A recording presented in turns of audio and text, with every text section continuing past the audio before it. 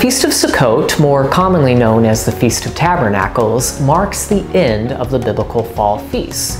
It's a joyous celebration on the Hebrew calendar as God's people come together and celebrate before the Lord in anticipation for the return of the Messiah and the wedding supper of the Lamb. The name Sukkot means booths, and it comes from the commandment to dwell in booths during the seven day festival. This commandment recalls the 40 years during which the Israelites dwelled in booths as they wandered the desert after their deliverance from Egypt. It's also known as the Feast of Ingathering or simply the Feast.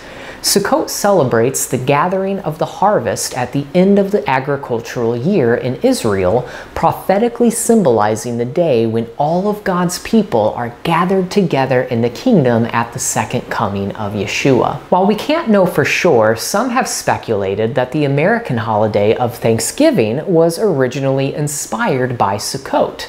It's also believed that Sukkot was the time of Yeshua's birth. Thus, if that's true, followers of Yeshua have another reason to rejoice during this time. The following is a list of ways that you can celebrate this amazing festival. Number one, dwell in a sukkah. One of the commandments of Sukkot is to dwell in a sukkah during the days of the festival. A sukkah is a temporary dwelling place like a fort or a tent. Traditionally, it has at least three walls and must be built under an open sky. Many people decorate their sukkah with lights, pictures, and even vegetables like pumpkins.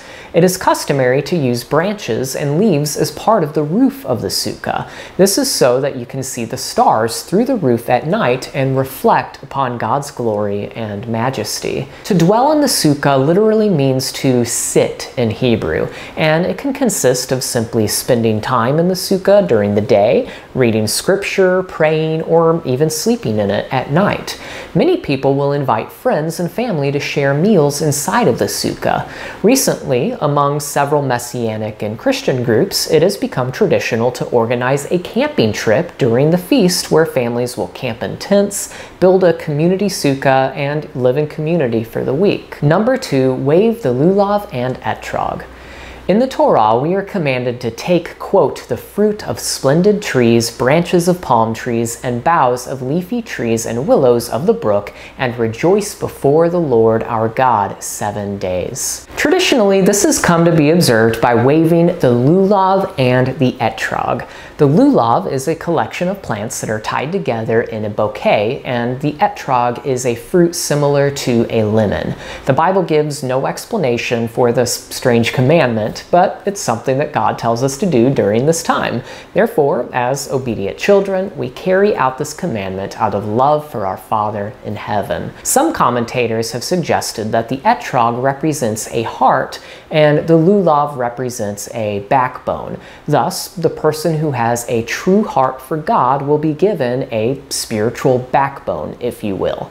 Perhaps carrying out this commandment purely from a heart to obey God is a means by which God strengthens our spiritual backbone. That is to say, by waving the lulav and etrog, we are walking by faith and not by sight. We are obeying God even when we don't understand. After all, if we can't obey God in the simple things, What's to say that we would obey him with regard to the difficult things? Number three, rest on the first and eighth day. During Sukkot are two high Sabbaths, the first day of the festival and the eighth day that directly follows the seven days of Sukkot, on which we are not to do any work. These are days to simply enjoy God's gift of rest as we remember the ultimate rest we have in our Savior Yeshua. We are also commanded to have a holy convocation on these two days. Number four, read the book of Ecclesiastes. During the festival of Sukkot, it is customary to read the book of Kohelet, or Ecclesiastes. This book was chosen to be read at this time because its teachings relate much to the Sukkah. The author of Ecclesiastes discusses how our physical world is temporal and fading away, just as the Sukkah is merely a temporary dwelling that will come down at the end of the festival. We do well to remember that the pursuit of pleasure and success in this this life is ultimately meaningless, and true eternal fulfillment is found only in a relationship with God and keeping His commandments. For this is the whole duty of man. Number five, give an offering to the Lord. Sukkot is one of three times of the year when God's people are not to come before the Lord empty handed. We are to bring an offering to the Lord, thanking Him for His love and provision.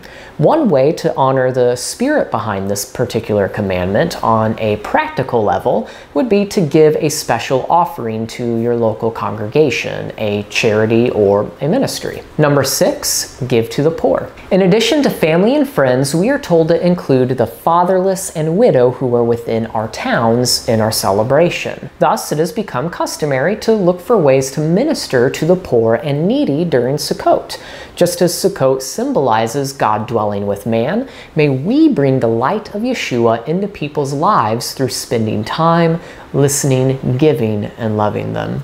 Number seven, celebrate Messiah's birth. As Christians begin to discover the value of God's feast days, they tend to no longer see a need to celebrate non biblical holidays like Christmas. However, that certainly doesn't mean we shouldn't celebrate the birth of our Messiah.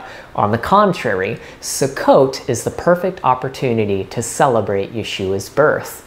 In his paper, Why I Don't Celebrate Christmas, Messianic theologian Tim Hegg says this I celebrate the birth of Messiah as never before, but I have come to understand that Christmas and the birth of Messiah have nothing in common.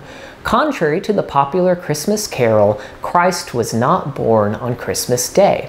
I personally feel that the Festival of Booths, Sukkot, is best suited to remember the dwelling of God with man, both historically and eschatologically.